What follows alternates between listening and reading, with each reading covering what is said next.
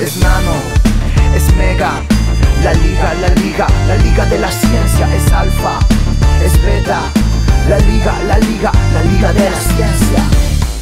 Un nuevo bloque en la Liga de la Ciencia. Estamos acá hoy con Sergio. Sergio, ¿sabés que me comentaron que ahora hay una nueva sección con dos columnistas nuevos? Ah, no, no hoy. termino. Sí, parece que hoy inauguramos con. Uy, ¿Qué pasó? No ¿Y esto quiénes se son? la- ¿Y esto quiénes son? ¿Qué pasa, muchachos? Uy, ¿están investigando? Estamos en un programa de televisión. Estamos en... Amigos, amigos. Hola. ¿Cómo están? Estamos en un programa de tele acá en la Liga de la Ciencia. ¿Ustedes qué, qué- qué hacen? Bueno, nosotros somos los detectives de la ciencia. Ah, los detectives de la ciencia. Se parecen a los columners ustedes dos. Sí, Ah, so- somos parientes, somos parientes. parecidos. Son parientes ¿Y nuestros. qué andan haciendo por acá? Estamos investigando los mitos de la ciencia. Los mitos de la ciencia. ¿Esa es la sección? Esta parece que es los mitos de la ¿Los ciencia. mitos de la ciencia? Bueno, nos llamaron para eso. ¿Y, y qué, ¿Y hoy qué vamos a investigar? Hoy vamos a hablar sobre la neurogénesis adulta. Neurogénesis adulta. Sí. ¿Y eso es un mito? Y vamos a, a- a contar del tema y ver que si existe o no la formación de nuevas neuronas en los cerebros adultos. Ah, claro, claro, porque yo me acuerdo, se- siempre de muy chiquito uno aprendió que no se forman nuevas neuronas en el cerebro adulto. Siempre te dicen, cuídate de las neuronas porque si se te mueren no hay nuevas neuronas, ¿no? Tal cual. Ah, y eso parece que es un mito, ¿no es un mito? que que- Y podemos dilucidarlo. Vamos a investigarlo, Sí, sí, entonces. Sería una buena noticia para mí. Sería una... Vamos a ver si tenemos una buena noticia para Sergio. ¿Qué opina la gente en general sobre esto? ¿Ustedes saben? Y la verdad que hemos recibido algunos mensajes a través de las redes sociales, cosa que agradecemos mucho. Ah. Eh, y hay algunas preguntas, algunas dudas. Si quieren las podemos ver. A ver, dale, veamos a ver qué opina la gente sobre este mito. Hola, Liga de la Ciencia. Eh, yo supongo que las neuronas sí se regeneran. Escuché hablar a Diego Lombeck de reciclaje neuronal, así que creo eso. Saludos.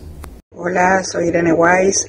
Bueno, hasta hace poco se creía que las neuronas no se reproducían más que en el desarrollo embrionario, pero parece que últimamente se demostró que la neurogénesis, o sea, la reproducción de las neuronas, ocurre durante toda la vida. Es algo que todavía está por probarse en general.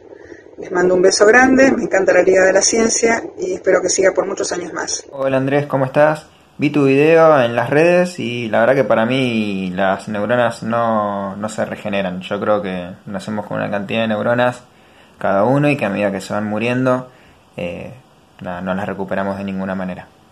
Hola, leí por ahí que las neuronas sí se reproducen. Sería interesante saber cuáles, cuántas. Eso estaría bueno. Vemos que hay opiniones encontradas, pero veamos qué dice en general la gente en redes sociales, porque estas fueron unas pocas opiniones. Hicimos algo un poquito más grande en redes sociales. Vamos a ver cómo salió esta votación. Buenísimo. ¿Se generan nuevas neuronas en el cerebro adulto, sí o no? ¿Qué dice la gente? A ver, ¿tenemos alguna placa ahí para ver? Ah, qué peleado que está. Mirá, 55% sí, 45% no. Bueno, hay, hay Pero debate. En un balotaje gana el sí por paliza, Sí, te sí, digo. sí, es- esto en Instagram. Hay sí, segunda vuelta. se- seguimos sin avanzar, Sergio. ¿no? Ahí tenemos también en Twitter resultados parecidos, muy peleado, 47. Ah, acá ganó el no. Mira, este Ah, balotaje. Uno a uno. Uno a uno. Yo Bueno, hubiera votado no. ¿vos, vos hubieras votado no, Sergio? Sí. Bueno. Y entonces vamos a ver ahora una a una las pistas que nos trajeron los detectives de la ciencia. En realidad nosotros lo que hicimos fue investigar a través de una cronología que escribió nuestro amigo Pedro Beck Ah, en su claro. libro 100% memoria, 100% memoria. Claro, sí, librazo de Pedro, lo recomiendo muchísimo, nuestro Correcto. columnista de neurociencia, Pedro, y ahí cuenta la historia de este mito. En un capítulo él cuenta, hace una breve cronología de los diferentes investigadores que fueron metiéndose en este tema a partir de algunas este, evidencias que fueron encontrando. Ah, buenísimo. Bueno, a ver, cuéntanos, ¿no? Vamos a ver. Queremos, saber. Respuestas. Queremos respuestas, sí. Bueno, eh, hasta el año 1960 se pensaba que no había neurogénesis en los cerebros adultos. Claro. Pero en el año 1967, Joseph Altman y Gopal Das descubrieron que en los cobayos adultos eh, había nuevas neuronas en el giro dental del hipocampo. Entonces, esto abrió nuevas esperanzas a que exista la neurogénesis en seres humanos adultos. Ah, bueno, claro. interesante, Pero no se logró descubrir Pero- aún. ¿Cómo? En ese entonces aún no se logró descubrir en humanos, solamente en Claro, caballos. estamos hablando acá de cobayos adultos, pero bueno, Fue un avance. perfecto. Una pista más. Pero acá hay otro descubrimiento muy interesante para la neurociencia. En el año 1976, el argentino Fernando Nottebohm estaba viviendo en Estados Unidos, en Nueva York precisamente, y empezó a estudiar el canto de los canarios machos, Ah. el canto de apareamiento de los canarios machos.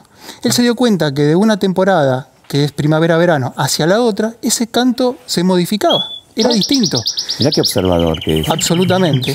Y tiene un muy buen oído, ante todo. Y principalmente el que dijo, bueno, esto debe digamos, referirse a que hay un reacomodamiento de las neuronas o de algún tipo de sinapsis entre ellas. Y dijo, a ver, voy a investigar un poco más. Y empezó a ver que en el cerebro de, estos, de estas aves, el volumen de su cerebro aumentaba en la época de apareamiento y se achicaba en otoño y primavera, en otoño y invierno, disculpen. Entonces, ¿qué pasó? Dijo, evidentemente acá hay una generación de neuronas y una muerte de neuronas que en la próxima temporada vuelve a crecer porque hay nueva generación. Esto otra vez... Neuronas estacionales. Claro, son exactamente las neuronas estacionales, calentitas, porque son de, de primavera y verano, y esto solo se daba, y él lo pudo descubrir en aves. En. Por ahora tuvimos caballo, tuvimos aves. Correcto. Por ahora humanos nada. Pero despertó la- el interés Ah. de muchos otros neurocientíficos que empezaron a estudiar el tema. Ah, mira qué interesante. ¿Y cómo sigue la historia? Pero luego de esto, Ah. otro argentino, Alejandro Schinder, del Instituto del Loire, y Fred Rusty Gage, del Instituto Salk, Ah. ellos dos juntos, entre el año 2000 y 2002, notaron que las propiedades eléctricas de las neuronas jóvenes, recién nacidas, eran mucho más rápidas que las neuronas viejas. Lo mismo que pasa con seres humanos, tal vez alguna respuesta eh, de- a, algún, este, a algún estímulo es más rápido un joven que una persona más vieja. Las neuronas nuevas de un niño. Acá en realidad no, las neuronas nuevas, él no habló de edades. Lo cierto es que la investigación es sobre neurogénesis adulta y porque la creencia es que no existe crecimiento o nacimiento de neuronas nuevas en los cerebros de adultos y sin embargo, Ah. aparentemente, por lo que ellos descubrieron, sí, porque notaron que al mismo estímulo había neuronas que reaccionaban más rápido y otras más lento. Ah, Ahí nos acercamos. ahí Entonces va. nos vamos acercando, pero tampoco pudieron probarlo en humanos. Interesante también que haya argentinos en toda esta historia, ¿eh? Sí, ya van dos, correcto. Qué interesante. Bien, bien. ¿Y cómo, cómo sigue? A ver. Bueno, recién en el año 2005 se pudo comprobar que existía la neurogénesis adulta. Ah, Do- ¿Cuándo? en, En el año 2005. en humanos. en seres humanos, en cerebros de seres humanos adultos. Perfecto. Esto fue gracias a una investigación que hizo el sueco Jonas Friesen, que se basó en investigar los cerebros de personas adultas que estaban vivas durante la Guerra Fría, cuando hubo ensayos atómicos y hubo eh, radiación de carbono 14.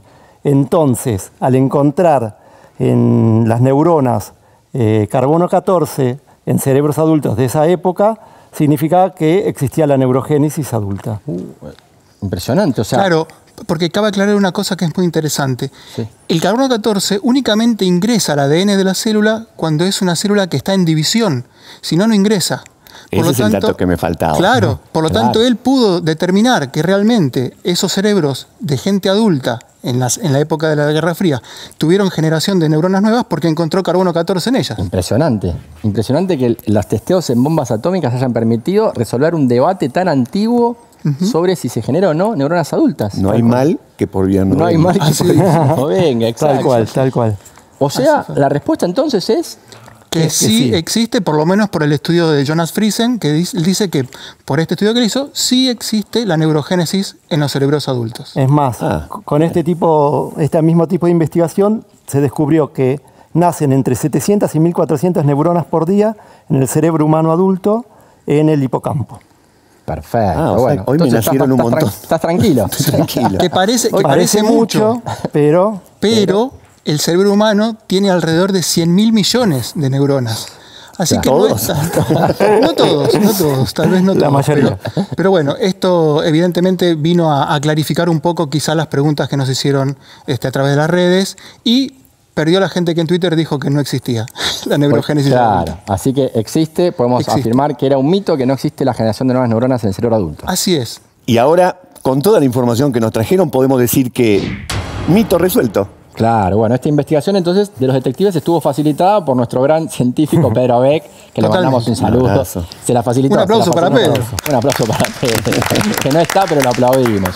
Bueno, detectives de la ciencia, muchísimas gracias por, más. por, por desasnarnos con este mito. Vamos a ver con qué mito nuevo nos venimos la, La próxima, próxima- vez. Sí, sí, le podemos decir a la gente desde su casa que si quieren que investiguemos algún mito en particular, pueden mandarnos a través de redes sociales cuál es el mito que quieren investigar y acá nuestros detectives de la ciencia Te van pinchan el mito. Claro. Te pinchan, sí. O no, a veces hay mitos que pueden ser verdaderos. El de hoy Exacto. hemos visto que era falso. Así Tal cual. es. Tuvimos de todo el programa de hoy, ¿eh? Tuvimos de todo. El informe de. Consu, El informe, tuvimos a Silvia Cochen con su con su película documental, espectacular. la, la ciencia que busca fama de película. espectacular, me Y encanta. ahora derribamos un mito. Sí, agradecemos que nos den este espacio para aclarar ciertas dudas que son comunes. A nosotros buenísimo. también nos sirve porque también las aclaramos. Así Nos que sirve para aprender también. Está buenísimo. Bueno, a la Sergio, ¿vos bien la pasaste bien? Muy bien. Perfecto. ¿Ya te, te sentís cómodo? Me siento tan suelto Sí. que te digo una cosa, voy a cerrar yo. No, ¿en serio? Voy a cerrar yo. Dale, por favor, esto- esto es todo tuyo. Espero que hayan disfrutado este capítulo de la Liga de la Ciencia acá, en la TV pública. Nos vemos la semana que viene. Perfecto, chao, muchas gracias. Hasta la semana que viene. Genial.